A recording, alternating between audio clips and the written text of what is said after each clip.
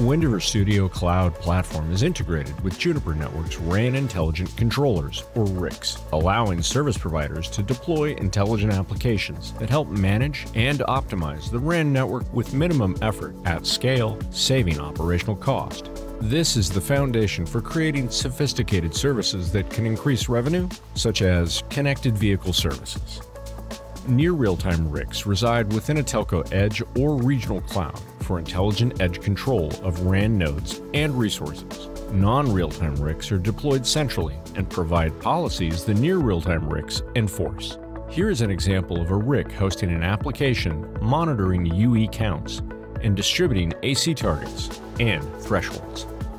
Through this closed-loop control, the slice-aware admission control use case enables operators finer control and allocation of RAN resources needed for multiple services running simultaneously. The Juniper and Wind River integration allows service providers to deploy intelligent applications that help manage and optimize the RAN network with minimum effort at scale, saving operational cost.